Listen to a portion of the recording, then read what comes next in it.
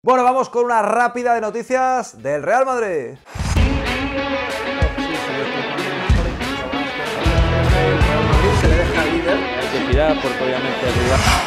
Del Real Madrid. ¿Qué pasa, chavales? Bienvenidos a un vídeo de noticias del Real Madrid. Bueno, llevamos varios días en los cuales ha sido un poco diferente la dinámica del canal, pero en este sí que quería comentar eh, tres o cuatro cositas que han salido en el día de hoy. Primero, bueno, recordar que estamos eh, en medio de un eh, parón FIFA, regresará el Real Madrid el domingo a las 9 de la noche contra el Celta en el Santiago Bernabéu, primer partido en el Bernabéu después del 1 de marzo del año 2020, anda que no han pasado cosas desde esa noche en la que el Real Madrid venció al Barcelona con goles de Vinicius y de Mariano, de un Mariano en el que, bueno, quería hablar porque no me lo habéis preguntado en el AS que, y no dio tiempo a reaccionar en, con todas las cosas que estaban ocurriendo, al tema de que no haya querido irse a jugar al Rayo Vallecano eh, manteniendo la ficha en lo que me parece una de las eh, cosas más eh, desgraciadas de comentar, que, me ha tocado comentar, porque bueno, ya os lo había dicho muchas veces, este es un chico que, no quiere jugar al fútbol, o sea, es que,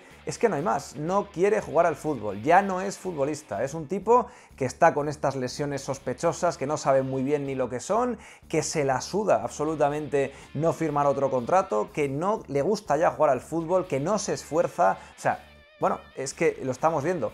Yo con esto de los contratos siempre digo dos cosas.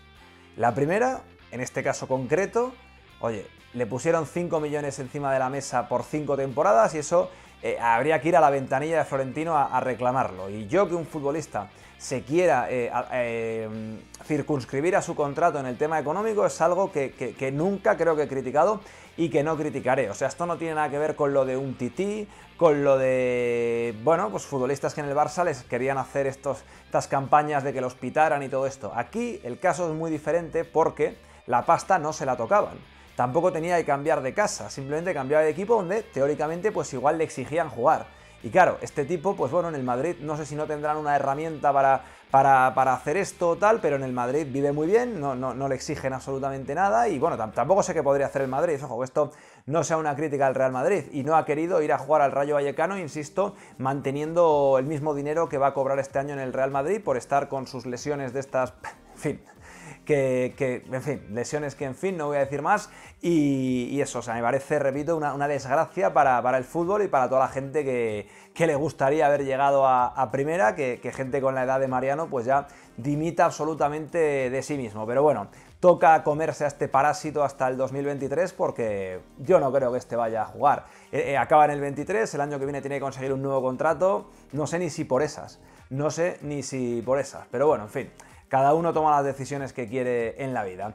Y una cosita de lo del entrenamiento, Ferland Mendy, que preguntáis muchos, pues eh, sigue entrenando en solitario en el césped, lo ha hecho hoy también en la misma dinámica que Nacho y bueno, pues un poco de oscurantismo en ese, en ese caso. Eh, al final la precaución siempre es buena al volver de una lesión. Veamos aquí que por forzar para estar, encima que estuvo como estuvo, que no estaba el hombre, en esa eliminatoria de vuelta contra el Chelsea, pues seguramente eso le ha, le ha acarreado estos problemas. Y mira, ya puestos ahora, me da igual que vuelva contra el Celta que, en tres semanas, pero que vuelva bien porque, porque es un jugadorazo. Y rápidamente las palabras de Ryan Cherky, el futbolista del Olympique de Lyon, que bueno, ha vuelto a decir eh, que su sueño es jugar en el Real Madrid y que no lo oculta, lo ha dicho abiertamente en una entrevista y este es uno de los jugadores pues, eh, más talentosos del fútbol francés. Ahora os pongo un pequeño corte eh, de Onrubia cuando lo traje al podcast en el que hablamos brevemente de este jugador porque él lo tiene más catalogado que yo, pero habrá que estar atentos a ver pues, eh, oye, si es realmente tan interesante y es realmente eh, una gema llamada brillar tanto eh, de cara a la temporada que viene porque entra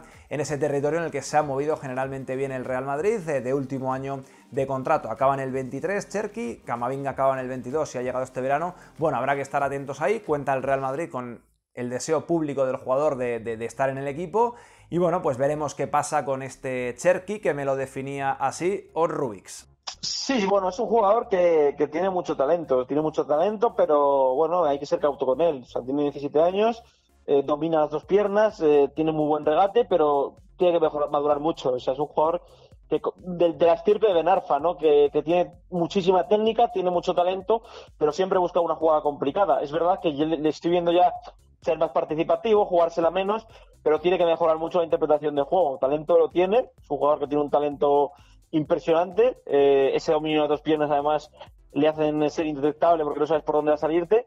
Pero bueno, de momento hay que ser cauto con él, tiene 17 años y, yo creo que no, no como con no se puede pedir tampoco que te, con 17 años te juegue partidos eh, que le estás exigiendo a, un jugador de, 25. Entonces, yo creo que es uno de los mayores talentos del fútbol francés, pero hay que ir poco a poco con él. Y voy a terminar el vídeo también con unas, eh, bueno, con un par de cositas eh, en clave mm, mercado de fichajes, nombres que suenan para el Real Madrid. Ya sabéis que, bueno, que durante la temporada no, no, suelo tratar mucho esos temas, salvo, que haya declaraciones o algo más o menos tangible.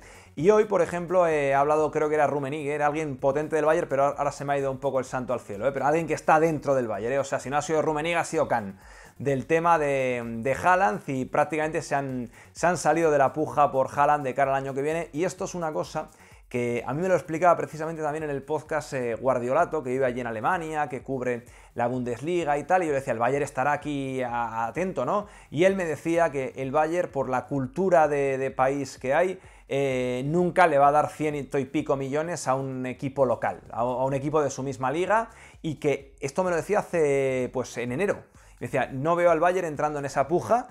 No sé si será postureo lo que decía hoy el directivo del Bayern, pero pues me ha venido a la cabeza, a la cabeza eso. Veremos qué ocurre el año que viene con Haaland y veremos qué ocurre también eh, con Kylian Mbappé, de quien ha hablado hoy en una entrevista en RTL su amigo, porque se han definido así, Karim Benzema. Y Benzema, bueno, pues ha dicho que, le gustaría eh, que estuviera ya en el Real Madrid, eh, pero que algún día, un día u otro, que llegará Kylian Mbappé al Real Madrid. También ha añadido Benzema que ahora pues bueno, está en otro club y que él tiene que respetar a otro club, en este caso el, el Paris Saint Germain, pero eso, que él cree que acabará jugando en el, en el, Real Madrid. Bueno, es la corriente mayoritaria de que esto simplemente ha sido un aplazamiento de, la situación y que este chico, pues en los primeros días del mes de enero ya se anunciará que viene al Real Madrid, o no sé cómo manejarán esos eh, timings. Eh, bueno, veremos, veremos qué es lo que ocurre con eh, el futuro de Kylian Mbappé. Yo ya la lección que he sacado después de este mercado de fichajes, hasta que no vea el comunicado oficial y casi la presentación y, él con la camisa del Real Madrid,